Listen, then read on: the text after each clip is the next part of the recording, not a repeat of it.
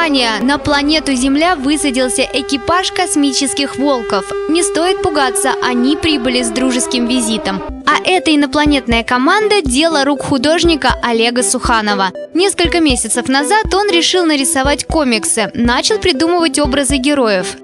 С кого все началось? Вот этот тип, которого я искал.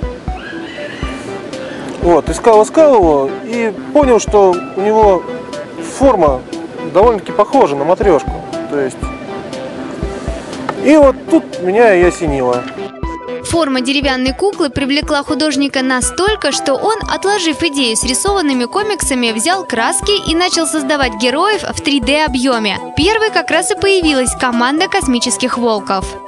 Не то, что именно волки как звери-волки, а вот именно как морские пираты, вот эти вот морские волки были, а это космические волки. Ну, те же пираты, только космические. Это военные, это сержант, такой взят за основу был сержант морской пехоты. Ну, это, соответственно, рядовой, это поменьше товарищ. Для очередной серии персонажей Олег сначала придумывает место действия, будь то подводное царство, инопланетная галактика или горные чащи. И потом заселяет эти фантасмагорические миры столь же необычными персонажами. Кстати, у каждого из них тоже своя биография. Какая-то определенная морская разведка, которая занимается диверсией, и вот ее представитель-диверсант. То есть у него есть свои вот эти вот приспособления, чтобы под водой перемещаться. У него есть манипуляторы, торпедные аппараты. Сам Олег очень любит фэнтези-литературу, поэтому и его персонажи из неземных миров. Даже, казалось бы, знакомые всем лиса и заяц. Олег первоначально задумывал их как героев русских народных сказок.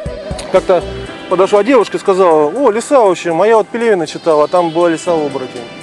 Я прочитал лису-оборотень и вдохновился этой идеей, то, что вот именно Почему она говорит лиса-оборотень? Потому что глаза человеческие. После лисы появился барсук-оборотень. Его история связана уже с восточной мифологией, согласно которой существуют животные тануки, символизирующие благополучие. Поэтому у барсука два хвоста и таинственная внутренняя сущность.